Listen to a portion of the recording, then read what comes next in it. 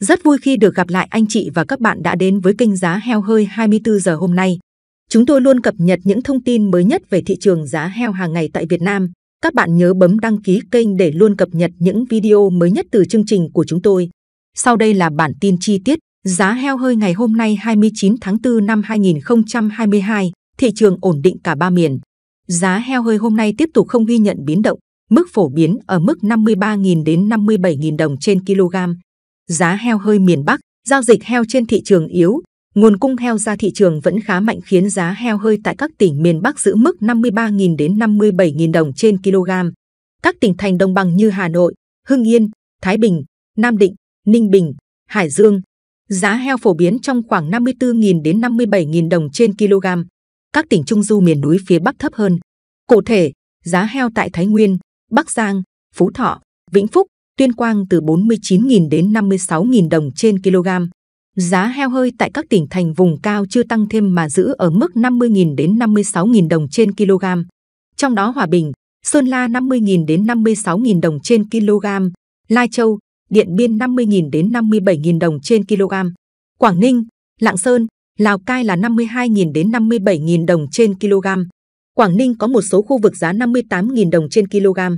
Giá heo hơi miền Trung Tây Nguyên, giá heo hơi miền Trung Tây Nguyên cũng không tăng thêm. Tại Trung Trung Bộ, các tỉnh Thanh Hóa, Nghệ An, Hà Tĩnh phổ biến trong khoảng 52.000 đến 57.000 đồng trên kg, Quảng Bình, Quảng Trị, Thừa Thiên Huế 54.000 đến 57.000 đồng trên kg, cục bộ có những khu vực có giá 58.000 đồng trên kg. Khu vực Nam Trung Bộ ghi nhận giá heo hơi cao hơn. Tại Quảng Nam Đà Nẵng, Quảng Ngãi 55.000 đến 59.000 đồng trên kg. Khánh Hòa, Phú Yên, Ninh Thuận, Bình Thuận, Bình Định từ 54.000 đến 57.000 đồng trên kg. Giá heo hơi tại Tây Nguyên từ 53.000 đến 57.000 đồng trên kg. Trong đó Lâm Đồng, Đắk Lắk khoảng 53.000 đến 57.000 đồng trên kg. Gia Lai, Con Tum, Đắk Nông giao động trong khoảng 53.000 đến 55.000 đồng trên kg. Giá heo hơi miền Nam Giá heo hơi miền Nam cũng có diễn biến tương tự. Tại Đông Nam Bộ, giá heo hơi phổ biến trong khoảng 54.000 đến 58.000 đồng trên kg. Trong đó Đồng Nai, Bà Rịa Vũng Tàu thành phố Hồ Chí Minh 54.000 đến 58.000 đồng trên kg. Bình Dương, Bình Phước 53.000 đến 57.000 đồng trên kg. Tại Tây Nam Bộ, giá heo hơi một số khu vực thuộc tỉnh Long An, Tiền Giang giáp danh với thành phố Hồ Chí Minh phổ biến ở mức giá 55.000 đến 57.000 đồng trên kg. Các tỉnh giá cũng đang tăng, Trà Vinh, Bến Tre, Sóc Trăng, Bạc Liêu, Hậu Giang giá heo duy trì ở mức 52.000 đến 56.000 đồng trên kg. Cần Thơ 51.000 đến 56.000 đồng trên kg. Đồng Tháp, An Giang quanh mức 52.000 đến 55.000 đồng trên kg. Với mức giá này, để duy trì hoạt động chăn nuôi, các hộ chăn nuôi đã chủ động thích ứng với những giải pháp khác nhau. Ví dụ như giảm lượng thức ăn tinh, tăng thức ăn xanh nhằm giảm chi phí, tránh tình trạng thua lỗ. Còn đối với những trang trại, hợp tác xã chăn nuôi lớn lại áp dụng giải pháp giảm bớt áp lực thức ăn chăn nuôi. Theo ông Nguyễn Đức Sang, Phó Giám đốc Công ty Cổ phần P giống vật nuôi Hà Nội, dịch bệnh cùng giá thức ăn chăn nuôi liên tục tăng cao khiến chăn nuôi thua lỗ, các hộ không dám tái đàn. Số lượng heo giống xuất bán theo đó cũng giảm, đạt khoảng 60 đến 70%. Công ty đã chọn giải pháp giảm số lượng, tăng chất lượng đàn heo nhằm tăng hiệu quả chăn nuôi. Chúng tôi tăng cường thanh lọc, loại thải những cá thể có năng suất chất lượng thấp, những cá thể già làm giảm chất lượng để giữ lại những cá thể năng suất, chất lượng cao cũng như là tổng đầu con nhằm giảm chi phí thức ăn trên 1 kg tăng trọng. Ông Sang cho biết, ngoài giải pháp các trang trại, hợp tác xã chăn nuôi heo đang chủ động áp dụng. Bộ Nông nghiệp và Phát triển Nông thôn cùng với các địa phương cũng có nhiều nhóm giải pháp như tập trung vào tăng cường diện tích canh tác vùng nguyên liệu, đặc biệt là trồng các giống mới cho năng suất cao, đưa thêm vào công thức các loại dưỡng chất nhằm giảm chi phí đầu vào trong chăn nuôi cho các hộ chăn nuôi cũng như doanh nghiệp. Liên kết tiêu thụ thực phẩm an toàn giữa Đồng Nai và thành phố Hồ Chí Minh, Sở Nông nghiệp và Phát triển nông thôn Đồng Nai đang phối hợp với Ban Quản lý An toàn thực phẩm thành phố Hồ Chí Minh triển khai kế hoạch phối hợp bảo đảm an toàn thực phẩm chuỗi cung ứng nông sản an toàn giai đoạn 2021-2025 và đề án quản lý, nhận diện, truy xuất nguồn gốc. Ông Lê Minh Hân, Phó Chi cục trưởng Chi cục Phát triển nông thôn và quản lý chất lượng nông, lâm, thủy sản, Sở Nông nghiệp và Phát triển nông thôn cho biết, thành phố Hồ Chí Minh hiện là thị trường tiêu thụ nông sản lớn của tỉnh Đồng Nai, trong đó có thịt heo. Cụ thể, trong năm 2021, Đồng Nai cung ứng cho thành phố Hồ Chí Minh hơn 942,2 ngàn con heo. Đến nay, Trên địa bàn tỉnh có 82 cơ sở tham gia đề án chuỗi thực phẩm an toàn thực hiện thí điểm trên địa bàn thành phố Hồ Chí Minh.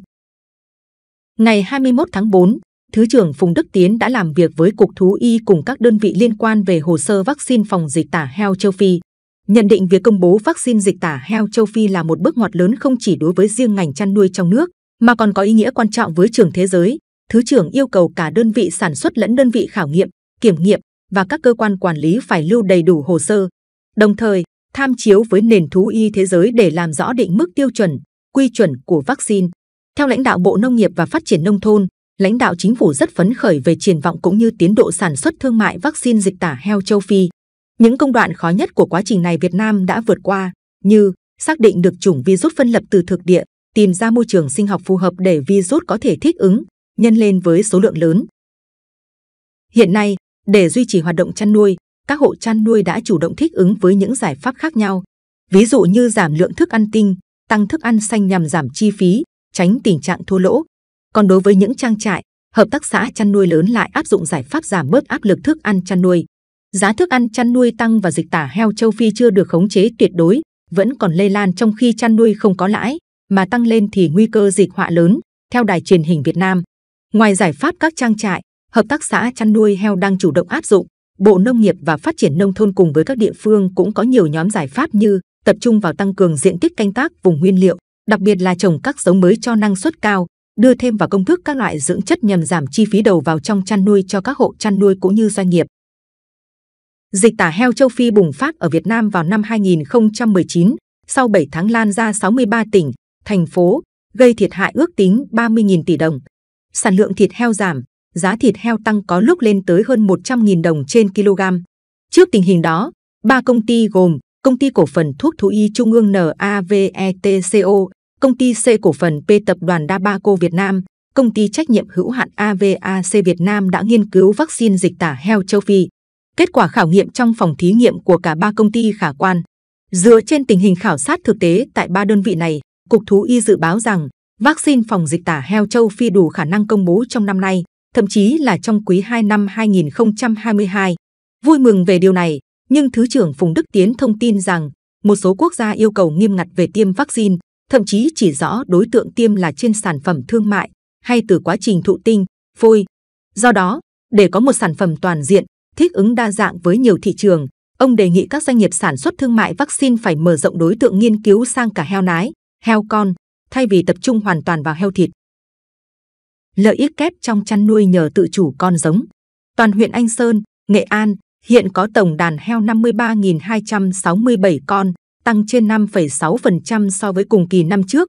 Những năm gần đây, dịch bệnh trên đàn vật nuôi diễn biến phức tạp, đặc biệt là bệnh dịch tả heo châu Phi đã gây thiệt hại nhiều đến đàn heo, kéo theo giá heo giống tăng và nhiều thời điểm người dân rất khó khăn trong việc mua con giống. Đứng trước những khó khăn đó, nhiều trang trại, gia trại, hộ chăn nuôi đã đầu tư nuôi heo nái để tự chủ nguồn giống. Số lượng heo nái phần lớn tập trung ở các trang trại, hộ chăn nuôi quy mô lớn với quy trình nuôi khép kín, sản xuất con giống để tái đàn tại chỗ và cung cấp cho các trang trại chăn nuôi trong khu vực.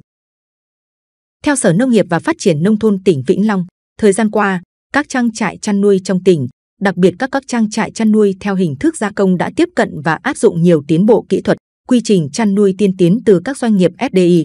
Trong đó, Quy trình chăn nuôi an toàn sinh học được tổ chức thực hiện nghiêm túc, liên tục, đầy đủ trong suốt quá trình sản xuất chăn nuôi đã mang lại nhiều kết quả tích cực.